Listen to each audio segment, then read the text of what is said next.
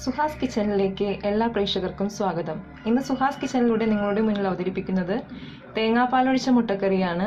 ഇതിനാവശ്യമായുള്ള സാധനങ്ങൾ എന്താണെന്ന് പറയാം. വെളിച്ചെണ്ണ ഇഞ്ചി വെളുത്തുള്ളി ചതച്ചത് കടുക് മൂന്ന് സവാള അരിഞ്ഞത് തക്കാളി പച്ചമുളക് വേപ്പില മുളകുപൊടി മഞ്ഞൾപ്പൊടി നീറ്റു മസാല തേങ്ങാപ്പാൽ കട്ടിയുള്ളത് അരമുറിയുടെ ആവശ്യത്തിന് ഉപ്പ് പുഴുങ്ങിയ മുട്ട ആവശ്യത്തിന് വെള്ളം. തേങ്ങാപ്പാൽ ഒഴിച്ച മുട്ടക്കറി എങ്ങനെ തയ്യാറാക്കുന്നത് നമുക്ക് നോക്കാം. ആദ്യം ചൂടായ ചട്ടിയിലേക്ക് എണ്ണ ഒഴിക്കണം.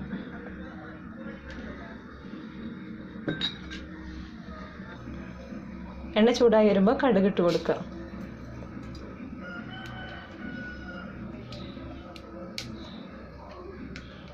കടുക് നല്ലോണം പൊട്ടി വരുമ്പോൾ വേപ്പില പച്ചമുളക് എന്നിവയിട്ട് ഒന്ന് വഴറ്റുക. അതൊന്ന് വഴഞ്ഞു കഴിഞ്ഞാൽ ഇഞ്ചി വെളുത്തുള്ളി ചതച്ചതിട്ട് കൊടുക്കുക. ഇത് നല്ലോണം വാടിക്കഴിയുമ്പോൾ അരിഞ്ഞിട്ട് സവാള ഇട്ട് കൊടുക്കുക.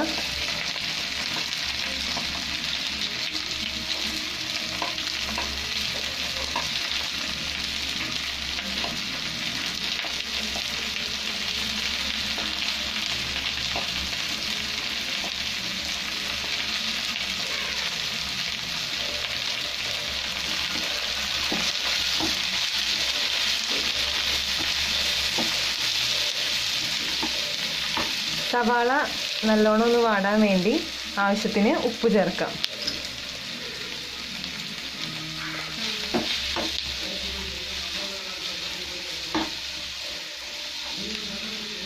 ഇതൊന്ന് നല്ലോണം വാടാൻ വേണ്ടി കുറച്ചു നേരം വെയിറ്റ് ചെയ്യുക.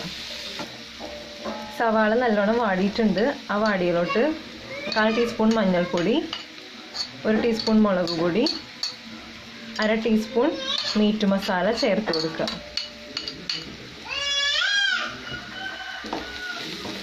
മസാല നല്ലോണം മൂക്കണ വരെ നമുക്ക് നല്ലോണം ഇളക്കി കൊടുത്ത് വെയിറ്റ് ചെയ്യാം സവാള നല്ലോണം വാടി മസാലയൊക്കെ മൂത്തിട്ടുണ്ട്. അതിലോട്ട് അരിഞ്ഞിട്ട് തക്കാളി ചേർക്കാം.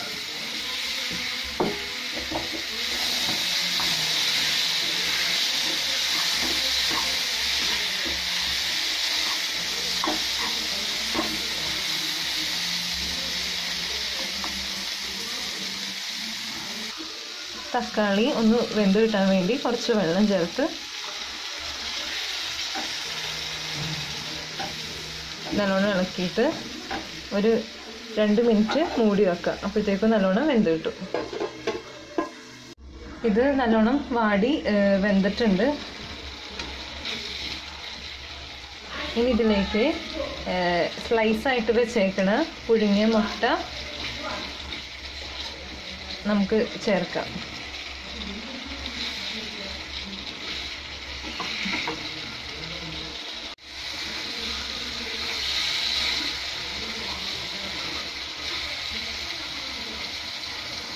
വെച്ചിരിക്കുന്ന തേങ്ങാപ്പാൽ അതിലോട്ട് ഒഴിച്ചു കൊടുക്കുക.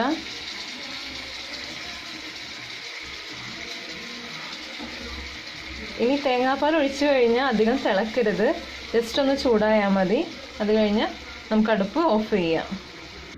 അങ്ങനെ സ്വാദിഷ്ടമായ മുട്ട തേങ്ങാപ്പാൽ ഒഴിച്ച കറി റെഡി ആയിട്ടുണ്ട്. നിങ്ങളെല്ലാവരും ട്രൈ ചെയ്യണം. Thanks for watching for more recipes subscribe our channel